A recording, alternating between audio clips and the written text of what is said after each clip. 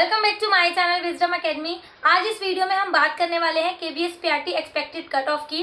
As you know कि कल ही पीआरटी म्यूज़िक प्रिंसिपल और जूनियर असिस्टेंट की जो पोस्ट थी जिनकी फाइनल आंसर की आ गई थी, उनकी कट ऑफ़ गई है। तो इतना एक्सपेक्टेड नहीं था कट ऑफ़ थोड़ी ज़्यादा सी ज़्यादा हाई गई है। इसके बाद से ही आपके बहुत बहुत सारे कमेंट्स आ रहे हैं। वो आप लोगों ने वीडियो के कमेंट्स में देख भी लिया होगा कि केवीएस पीआरटी की कट ऑफ़ कितनी जाएगी, या आपके अकॉर्डिंग केवीएस पीआरटी की कट ऑफ़ कितनी रह सकती है जनरल की कितनी ओबीसी की कितनी कैसी रहेगी। और उसके बाद से ना यूट्यूब पर बवाल मच गया है कि केवीएस पीआरटी की कट ऑफ़ बहुत ज़्यादा हाई जाने वाली है, बहुत ज़्यादा हाई जाएगी। इसका रीज़न क्या लगा रहे हैं कि केवीएस पीआरटी म्यूज़िक का आप देख लो और नॉर्मलाइजेशन होगा इसलिए, ठीक है? तो इस वीडियो में हम केवीएस पीआरटी की कट ऑफ़ के बारे में ही बात करने वाले हैं। पहली बात तो देखो केवीएस पीआरटी की कट ऑफ़ ना एग्जैक्टली exactly कितनी जाएगी ये कोई भी नहीं कह सकता। ये सब अप्रोक्सीमेशन अनुमान लगा रहे हैं कि हाँ इतनी जाएगी ऐसे जाएगी वैसे जाएगी लेकिन जिसे कहते हैं ना बिल्कुल सटीक वो तो सिर्फ़ केवीएस ही बता पाएगा ना कितनी उसकी कट ऑफ़ जो है वो जा सकती है। बट कल से जो एक नई चीज़ स्टार्ट हो रखी है ना यूट्यूब पर कि केवीएस की पीआरटी की कट ऑफ़ जाएगी 135, 132 प्लस 140 कट ऑफ़ जाएगी इतना बहुत ज़्यादा यूट्यूब पर चल रहा है। तो ऑब्वियसली आप लोग मेंटली बहुत ज़्यादा डिस्टर्ब हो रहे हो। वो आपके कमेंट से साफ़ साफ़ पता चल रहा है। हाँ आप लोग परेशान हो रहे हो। तो देखो मैं आपको इतना बता दूँ केवीएस पीआरटी की कट ऑफ़ बिल्कुल भी इतनी नहीं जा रही है। जिसने भी मुझे कमेंट करा है और मुझे बोला है ना कि 135 140 कट ऑफ़ जाएगी कह रहे हैं क्या ये सच है? तो देखो ऐसा बिल्कुल भी नहीं होने वाला है। देखो कॉमन सेंस की बात है। आप के केवीएस पीआरटी की वैकेंसीज देखो और केवीएस पीआरटी म्यूज़िक की वैकेंसी देखो। जो पीआरटी म्यूज़िक की वैकेंसीज है वो सिर्फ़ चार सौ ही तो है। ज़्यादा से ज़्यादा मैक्सिमम अगर आप मान लो तो चार सौ ही तो है। 400 वैकेंसीज की अगर कट ऑफ़ जा रही है 137 या 135 तो उसमें प्रॉब्लम क्या है? हाँ आई नो कि अब तक जितने भी केवीएस के एग्ज़ाम हुए हैं, उसके रिगार्डिंग ये है cut off high but exam भी तो चार साल बाद हुए ना कंपटीशन भी तो डबल हो गया है, और वैकेंसी भी तो कम है। वही अगर आप अदर हैंड देखोगे तो केवीएस पीआरटी की वैकेंसीज हज़ारों में है, पाँच हज़ार, छह हज़ार मीन्स इतनी वैकेंसीज है। तो अगर उन्हीं की वैकेंसी में अगर इतनी वैकेंसीज में एक सौ सैंतीस कट ऑफ़ चली गई फिर तो बहुत चुनिंदा बच्चे ही तो सिलेक्ट होंगे बहुत कम। क्योंकि केवीएस पीआरटी के में बहुत सारे बच्चों के जो नंबर हैं वो 120 से लेकर 130 के बीच में ही बन रहे हैं। जब 135, 136 से 140 तक स्कोर करने वाले ही बच्चे कम हैं तो वहाँ तक उनकी कट ऑफ़ कैसे जा सकती है? ठीक है पहली चीज़ तो ये हो गई।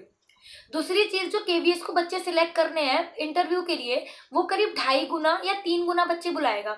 तो छह हज़ार के भी हिसाब से अगर उसको बच्चे सिलेक्ट करने हैं तो अट्ठारह हज़ार। अट्ठारह हज़ार, ठीक है? तो अब जिस तरीके का केवीएस का पेपर था, किसी शिफ्ट में कफ टफ किसी शिफ्ट में इजी इस तरीके से आपको लगता है क्या अट्ठारह हज़ार बच्चे ऐसे होंगे जिनके वन थर्टी फाइव मार्क्स बन रहे होंगे?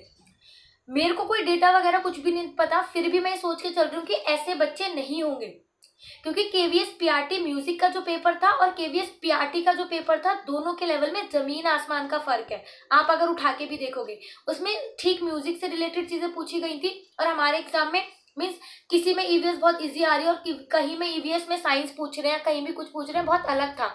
तो पहली बात तो केवीएस पीआरटी को केवीएस म्यूज़िक से कंपेयर करना बंद कर दो, दोनों ही अलग है।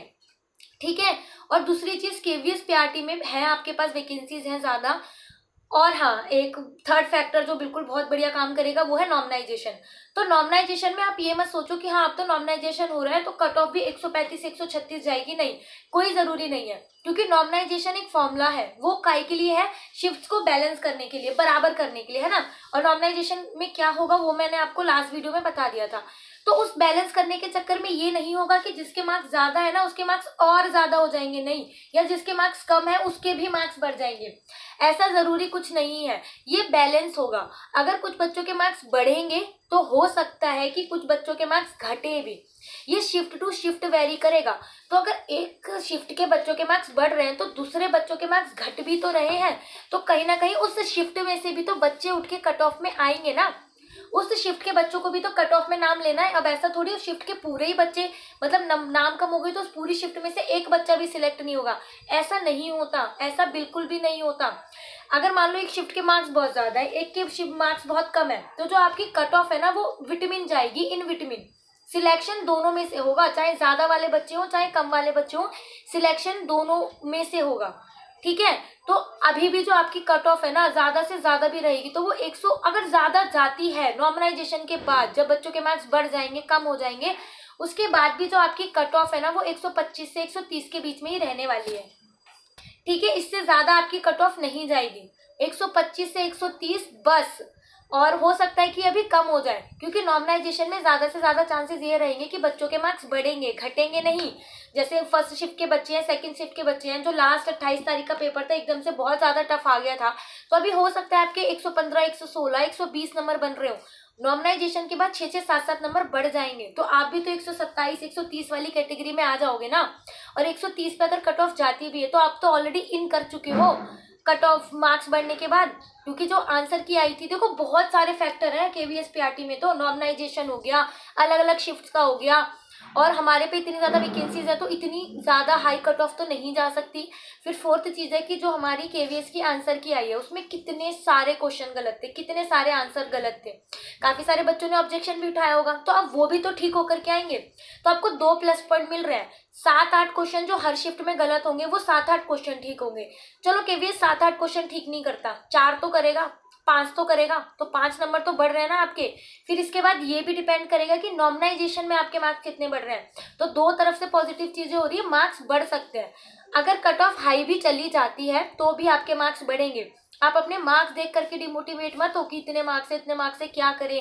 आई नो मेंटली परेशान हो और जो जैसे कमेंट आ रहे हैं, समझ में आ रहा है बट उसको ना अपने माइंड पर मत हावी होने दो। एकदम से इंटरव्यू की डेट आ जाएगी, कर नहीं पाएँगे कुछ भी।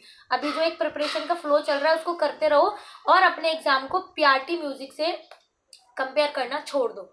तो ये कुछ चीज़ें हैं जो अपने केवीएस के टाइम पर ध्यान में रखो और देखो, मेरे मार्क्स जितने भी है ना स्टिल मैं पॉजिटिव हूँ कि हाँ मेरा नंबर इंटरव्यू के लिए आएगा। मुझे नहीं पता क्या है, क्यों है बट हाँ मेरा नंबर आएगा इंटरव्यू के लिए।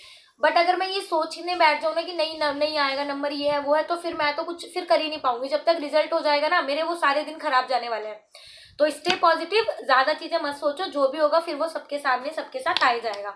बाकी और भी कोई आपकी क्वेरी आपको कुछ पूछना है तो आप कमेंट करके पूछ सकते हो।